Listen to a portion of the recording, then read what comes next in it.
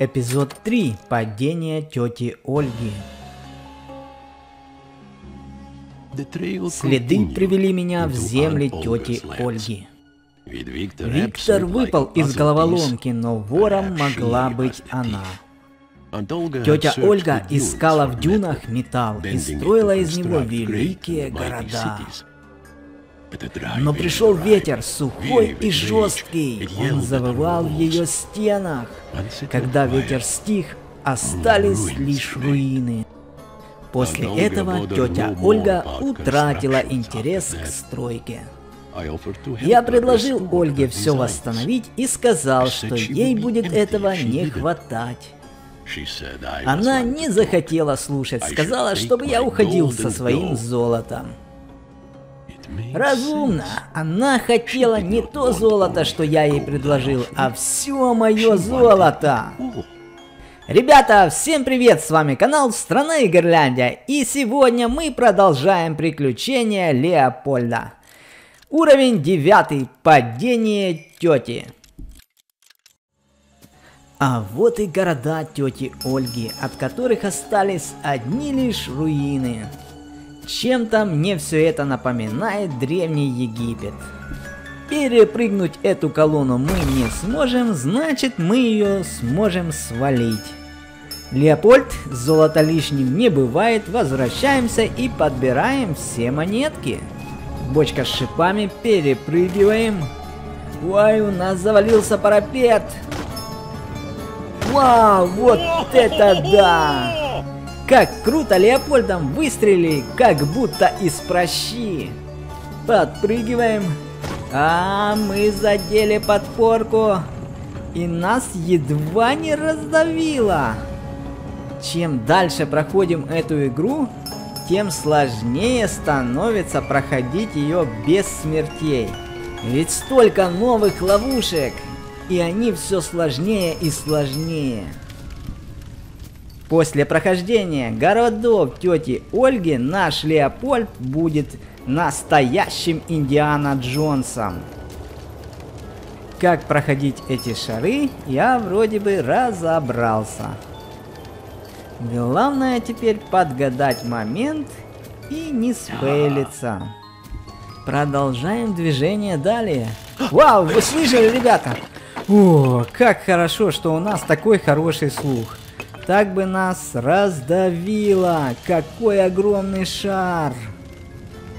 Нужно забрать монетку. Золото ведь наше. Подталкиваем камни. Зачем-то же они нужны. Отлично. Эти камни нам помогли открыть проход. А вот и первая смерть Леопольда. Как же неудачно все получилось. И сразу же Леопольд едва не свалился повторно в этот обрыв.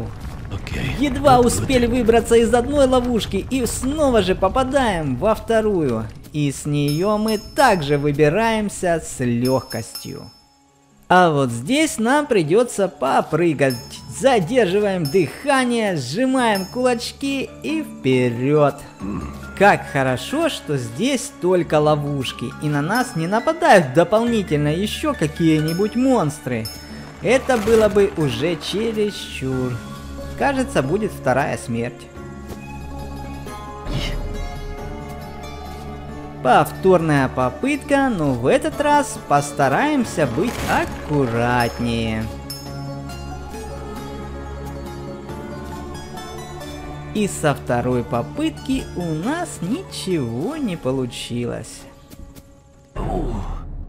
Если честно, я просто не представляю, как возможно пройти столько ловушек и ни разу не умереть. Ребята, подскажите, а вы играете в эту игру и проходили ли вы совершенно без единой смерти? Напишите, пожалуйста, в комментариях. Как же проходить здесь? Ну, прыжок. Стоим на постаменте. И стараемся не упасть. И снова мы свалились в пропасть. Еще одна попытка. В этот раз при ударе я буду подпрыгивать. Вот, эта тактика, по-моему, себя оправдывает.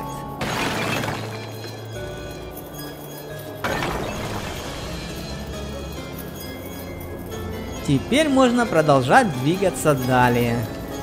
Обломки с колонны помогают нам не попасть на шипы. Ура, ребята! Мы закончили девятый уровень, собрали 66 монеток, у нас было 4 жертвы, и на все про все мы потратили 4 минуты и 5 секунд. Переходим к десятому уровню, который называется Черепа. Судя по названию, он будет намного сложнее, нежели девятый. Эти платформы, на которые мы прыгаем, не казались okay. мне надежными, так и есть. Едва мы на нее запрыгнули, она сразу же начала заваливаться. Если перепрыгнуть не получается, нужно сломать. Лишь бы нас не прибило. Ай-яй-яй! Фух, повезло. Собираем монетки и продолжаем искать воришку.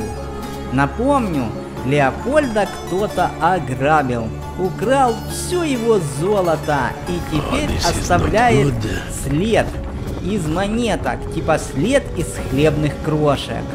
А Леопольд решил во что бы то ни стало найти свое золото. Еще один туннель с кучей шипов. Я просто не представляю, как я смогу его пройти. И вот, еще одна смерть. Еще. Да, эта ловушка одна из самых сложных, которая попадалась Леопольду. Неужели? Ура! Прошли! Правда, только с третьей попытки.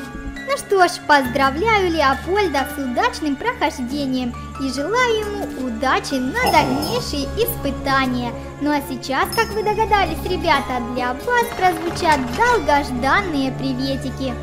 И первое сегодня звучит приветик Карине Зайцевой, Лерочке Волковой, Софии Акачинок, Викуле Кашули, Машуне Сергеевой, Ване Волкову, Анастасии Ивановой и ее сестричке Марии Ивановой. Также приветик Маше Феоктистовой, Шариповой Людмиле, Снежане Дмитриевне, Денису Ануфриеву и его сестреночке Алисе.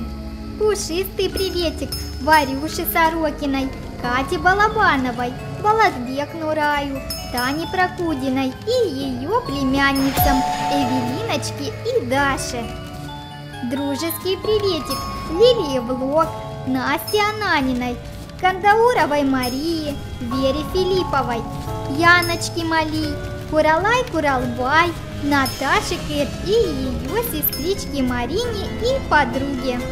Радужный приветик мисс Полиночке и ее сестричке Дашуле. Также приветик маленькой принцессе Кате, Исаевой Айше и Черненко Соне. Огромный приветик Маше Головко, ее маме Жанне и папе Вове. Также приветик Батуевой Юмжане, Светлане Цой, Еве и Яне Игнатовым.